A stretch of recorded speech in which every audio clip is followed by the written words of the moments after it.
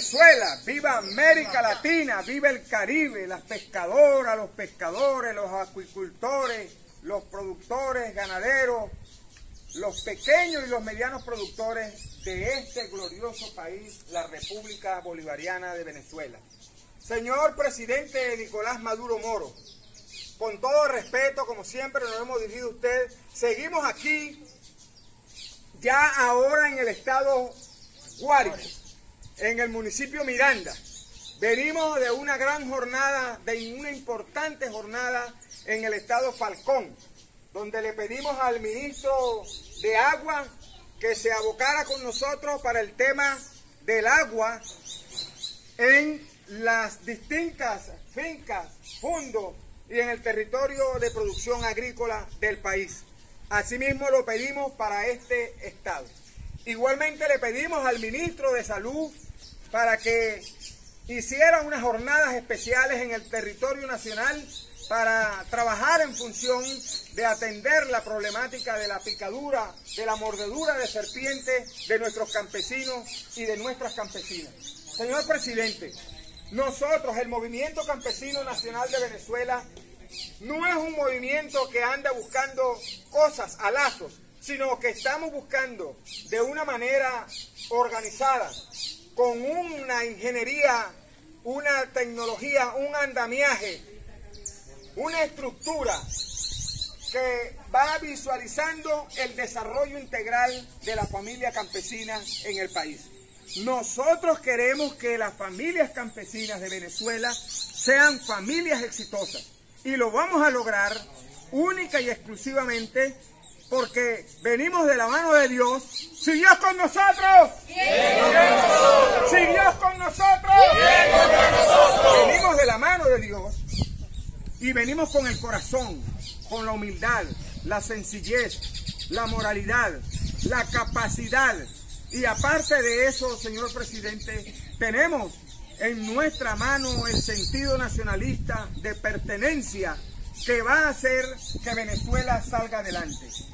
Le estamos pidiendo, señor presidente, con este video y con todos los videos, no sabemos cuál ni qué número de videos llevamos en este momento, pero han sido varios. Aplaudimos que usted llamó a un congreso de campesinas y de campesinos para el país. Eso es importante, se aplaude. Vamos a darle un fuerte aplauso al congreso. Fuerte aplauso al congreso de campesinos y campesinas convocado por el presidente Nicolás Maduro donde, señor presidente, debemos decirlo también, deben estar todos los actores, todos los actores del país.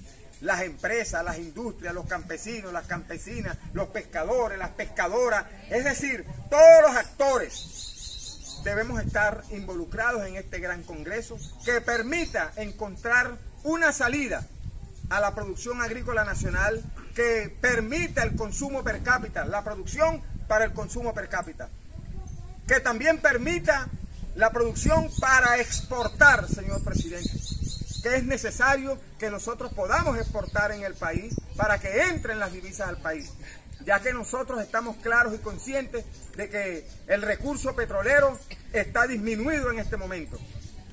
Igualmente es necesario que la banca pública y la banca privada nuevamente vuelva otra vez a otorgar el financiamiento a los pequeños, a los medianos productores del país. La banca pública y la banca privada debe abrir la cartera agrícola en la disposición que el pueblo pueda generar un crédito con ellos. Que ese financiamiento se haga una realidad, porque la forma en que está es un poco difícil. Por eso estamos también trabajando en función de que la ley de crédito agrícola se le hagan algunos arreglos y algunas modificaciones que permitan que el crédito agrícola vuelva. Es un aplauso para usted y para el país que se esté creando el Fondo Económico Campesino, ese fondo financiero maravilloso, muy bueno. Bueno, ya tenemos a nuestros productores, a nuestras productoras que están en el marco del circuito, ahí se lo estamos llevando a, a esa administración de la Vicepresidencia de la República para que, bueno, le den una respuesta a todos nuestros compañeros productores y productoras del país. Algo importante para resaltar, amigo, compañero, Nicolás Maduro Moro, igualmente el llamado para nuestra ministra Delcy Eloína Rodríguez, ministra de Finanzas, igual vicepresidenta de la República. También el llamado es para el ministro de Agricultura y Tierra, Wilmar Castro Soteldo, y también un saludo muy especial, muy respetuoso, y un llamado a nuestro canciller, el compañero Iván Gil, porque los circuitos financieros agrícolas que nosotros estamos